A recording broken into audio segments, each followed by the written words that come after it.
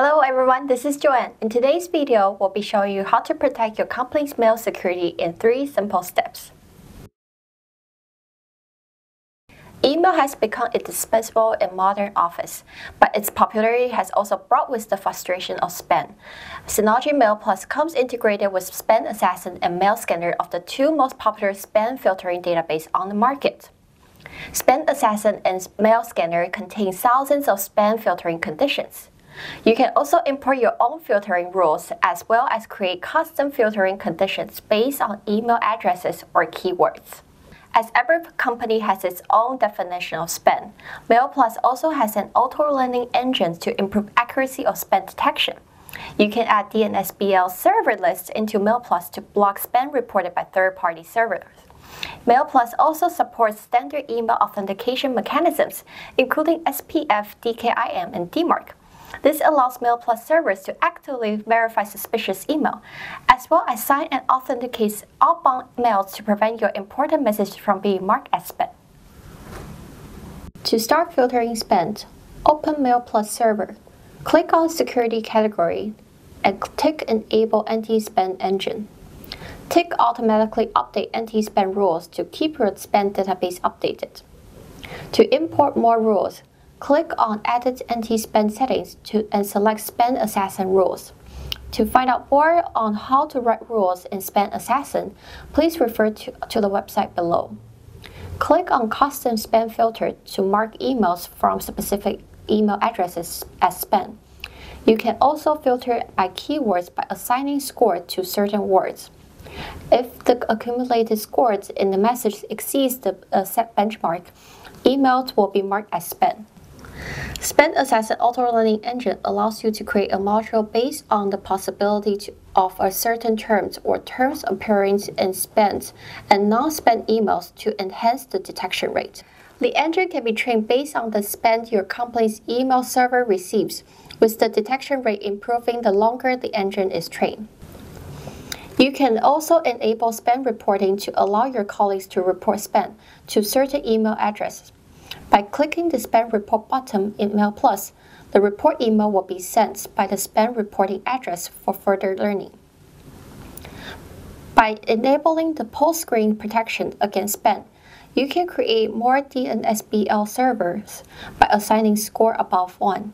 For example, to create a DNSBL server list to MailPlus, simply enter the URL by assigning a score above 1.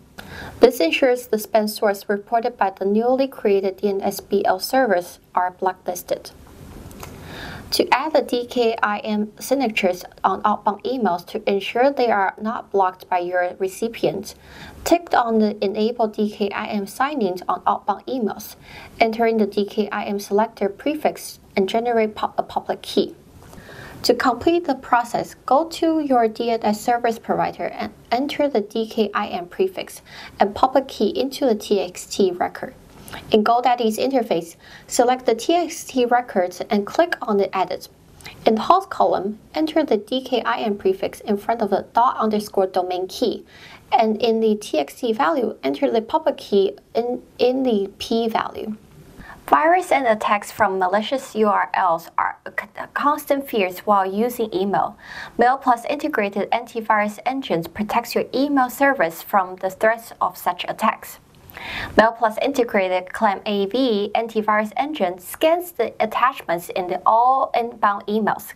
ClamAV also supports the web largest filtering database, Google Safe Browsing, that verifies URLs mentioned in the email content and identifies the malicious URL. If you have subscribed McAfee in the Package Center, you can select it as antivirus engines for MailPlus to improve the virus detection rate. In the Security category in MailPlus, click on the Antivirus tab. Tick Enable Antivirus Engine to start the virus scan in MailPlus. If you have subscribed to McAfee in Center, then you can select McAfee as Antivirus Engine. If you had choose ClamAV as your antivirus engine, then you can use Google Safe Browsing database to detect malicious URLs. You can also use other third-party database to further enhance the detection of malware and phishing emails.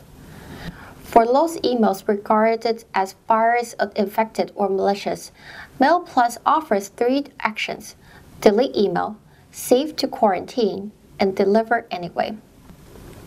You can click on Quarantine List to view the potentially affected emails. If you have selected Deliver Anyway, make sure you have added subject prefix to interface mail to warn your colleagues. In the Security category in MailPlus, click on Data Protection tab. Enable MCP and enter a threshold score.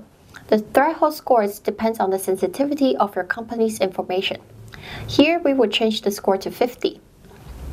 After you configure the threshold score, click on Manage MCP rules to further edit your own rules. By default, MailPlus has configured the message auditing of your credit card information. You can configure the targets and relations so the MailPlus understands which key message should be audited. In this case, audit the credit card numbers in employees' outbound emails. If you assign the scores breach the threshold scores you have configured, the email will be marked as sensitive. MailPlus provides three actions for sensitive emails save to quarantine, deliver anyway, and delete email. You can click on MCP quarantine to view the sensitive emails. You can also notify senders with the email template. Meanwhile, you can forward the sensitive email to the employee who is responsible for the email auditing. The Threat Monitor in MailPlus provides a security overview to an administrator with general threat analysis and database auto check to protect against spam and viruses. Admins will have a total control of the whole system. So a quick summary of the three security features that we share with you today. SpamAssassin kills incoming spam. Antivirus engines quarantines viruses. MCP audits email content. With all these three features, you can now safely enjoy your MailPlus service. If you have any questions about MailPlus, contact mailplus at synology.com. For more information, you can check out our website. And for more video tutorials, please subscribe to our channel and we'll see you next time. Bye!